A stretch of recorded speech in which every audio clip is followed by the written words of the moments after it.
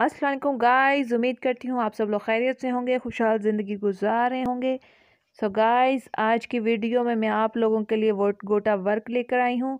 जैसे कि आप लोग जानते हैं, गोटा बहुत ज़्यादा मशहूर हो रहा है। इस साल हमारे यहाँ भी बहुत ज़्यादा ड्रेसेस बने हैं गोटे वर्क में।